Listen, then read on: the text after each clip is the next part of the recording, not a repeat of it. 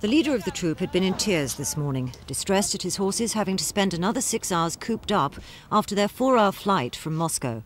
And he insisted on unloading and greeting each horse himself. Ah, He maintains the horses are athletes needing exercise every couple of hours and wanted to make sure they hadn't suffered because of the delay. Да, хоро- очень хорошо They look доехали, fine, они yes. чувствуют прекрасно. And they feel fine, Да, as far as I очень can хорошо tell. чувствуют.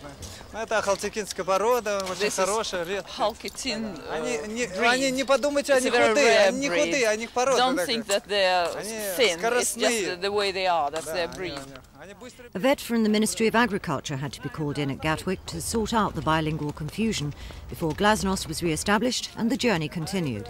They were held up because for some reason it said poultry on one of the forms, and that was just enough to stop them coming in until it's all been cleared up and the translations have been done from Russian to English, and now we all know their horses, and they're all coming in.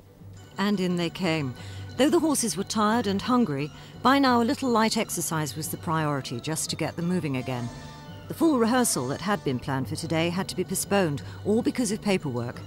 Even before they arrived here, they were involved in controversy, with the Association of Circus Proprietors criticising left wing councils for lifting their ban on circus animals to accommodate the Moscow State Circus.